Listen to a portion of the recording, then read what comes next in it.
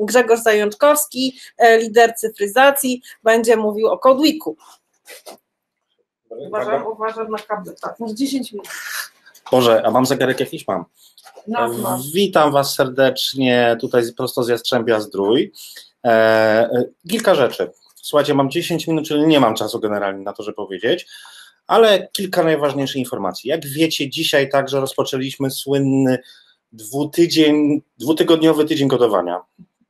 To jest inicjatywa, która powstała kilka lat temu, e, między innymi we Włoszech. E, Założy, z takich głównych mentorów tej całej operacji to jest profesor Bargiolio, który jest bardzo ważnym wykładowcą Uniwersytetu w Urbino. E, Urbino i wokół niego powstało całe takie środowisko, które pobudza całą edukację we Włoszech do nauki programowania, e, uczenia się, zabawy, tym i tak dalej. Profesor Borgiolio też bardzo mocno stwierdza fakt, że już programowanie jest absolutnie elementem normalnego życia. To już nie ma czegoś takiego, że żyjemy w świecie cyfrowym, analogowym. Nie, programowanie jest normalnym elementem życia każdej osoby. I w tym kierunku cała ta inicjatywa jest skierowana, żeby właśnie wykorzystywać te umiejętności programowania do zrozumienia rzeczywistości, świata, kolorów, barw i tak. Organizacyjnie e, od e, początku e, projekt ma bardzo mocne wsparcie Komisji Europejskiej, Komisji Europejskiej, tak zwanego jest cały zespół bardzo fajnych, ciekawych ludzi zaangażowanych w ten proces. Są są osoby, które żyją niemalże tym non-stop. E, Dodatkowo w każdym kraju zostali wyznaczeni tak zwani ambasadorzy.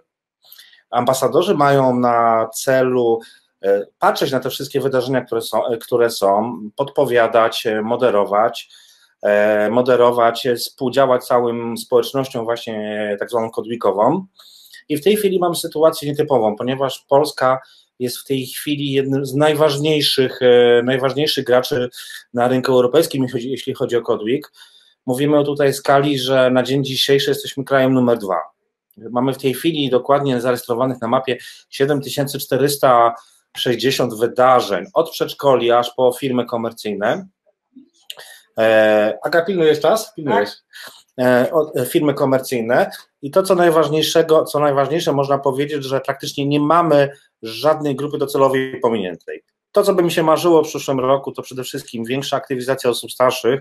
Procentowo najmniej właśnie mamy tych e, eventów skierowanych programistycznie nauki programowania do tych osób, powiedzmy 60. Plus. Kolejna rzecz, no, po raz dzisiaj przebiliśmy chyba rekord wszechświata, jeśli chodzi o zgłoszenia w Kodwiku. O ile pamiętam, w tamtym roku było około do 6 tysięcy, na pewno nie przekraczało to 6 tysięcy. W tej chwili mamy 7300 i teraz jak popatrzę sobie tutaj zaraz na zakładce na komputerze, e, czeka na mnie, na nas, na wszystkich ambasadorów e, 62 wydarzenia, z czego od początku mojej krótkiej tej prezentacji doszło 25. Więc jest naprawdę zupełnie nieźle i dopingujemy Was do tego, żeby było ich jeszcze więcej i to po raz pierwszy raz mamy szansę wygrać Kodwiku. To się jeszcze nie zdarzyło w historii Polski. W Polsce organizacyjnie proces jest wspierany przez e, bardzo wiele organizacji.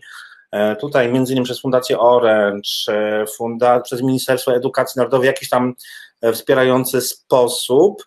Natomiast gó- w tej chwili głównym organizatorem Kodwika mamy w tej chwili, no oczywiście z Ministerstwa Cyfryzacji, które mam zaszczyt pracować. W tej chwili, jak rozmawiamy na Stadionie Narodowym w Warszawie, jest potężny event otwierający, w którym na pewno kilkaset dzieci widziałem na zdjęciach uczestniczy. E, Równocześnie oczywiście nasza dzisiejsza superbreferska konferencja także jest objęta patronatem Kodwika, czyli jest liczona do wydarzeń, jako wydarzenie e, tego, tego całego procesu. No wydaje się nam, że do końca dwóch tygodni, tych dwóch tygodni będziemy starali się namawiać jeszcze do tego, żeby, y, do tego, żeby tych eventów było jeszcze więcej i żebyśmy przekroczyli tą 40 liczbę 1200, co jest praktycznie trzykrotnością tego, co było w tamtym roku. Z kolejnych takich ciekawych elementów, Kodwik w Polsce rozwijane są trzy takie główne filary. Coś, co jest bardzo fajne, akurat, że nie na jednym filarze, tylko na trzech. Pierwszy filar to oczywiście te duże projekty rządowe. Wiele, wiele, wielu osób z Państwa uczestniczyło w konkursach Centrum Projektów Polska Cyfrowa i Ministerstwa Cyfryzacji pod kątem OSE. O ile pamiętam, jeden z warunków właśnie dostania pracowni mobilnej z tego konkursu dla ogólnopolskiej sieci edukacyjnej było rejestrowanie wydarzeń w Kodwiku i to był bardzo dobry strzał. Drugim takim filarem, którym ten Kodwik w Polsce zbudowany, działalności komercyjnych. Tu oczywiście pozdrowienia dla ludzi, na przykład skodowani na dywanie, czy wielu, wielu innych firm, które w tej chwili jestem przeładowany informacjami, ciężko mi wymówić. Trzeci filar to oczywiście działania e, wielu, wielu sieci edukacyjnych, takie jak Superbelfry. Także w Superbelfrów e, jest kilkunastu tak zwanych leading teachers, czyli osoby, które uczestniczą w tak zwanych kursach, kursach mocowych e, i doskonalą te swoje kompetencje w kierunku nie tylko samego programowania, bo to zupełnie dobrze nam w tym kraju wychodzi, ale przede wszystkim kompetencji społecznych w nauczaniu programowania, coś, co nam w tej chwili szczególnie brakuje.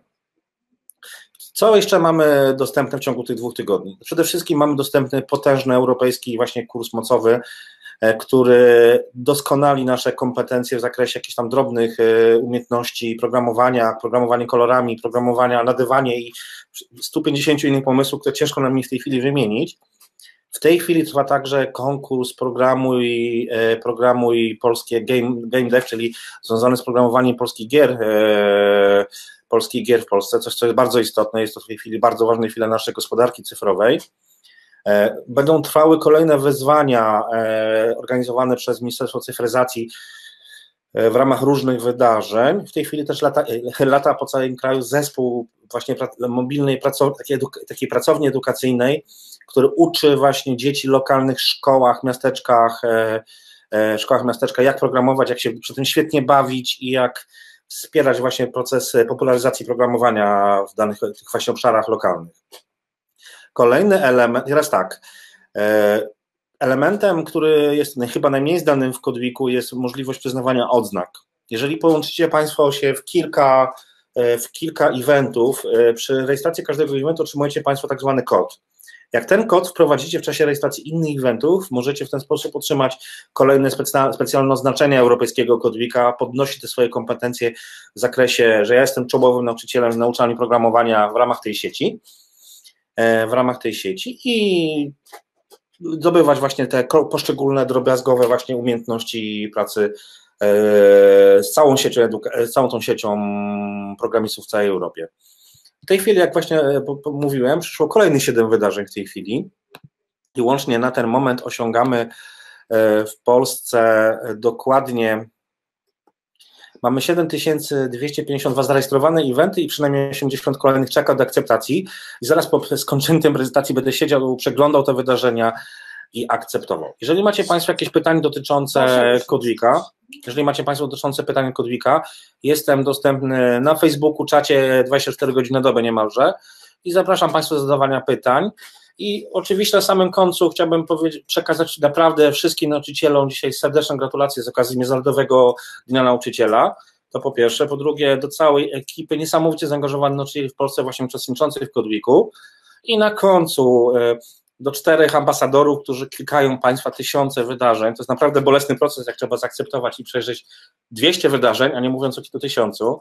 Także specjalne pozdrowienia dla Agnieszki Żeglińskiej, Karoliny Olejniak, Asi Dębek i całego zespołu Naukowej Akademickiej Sieci Komputerowej Sekretariatu Kudwika, który robi tam po prostu rzeczy niemożliwe dotychczasowo w Polsce, co widać po wskaźnikach. Dziękuję bardzo. Oddaję głos do studia, czyli do Agnieszki obok.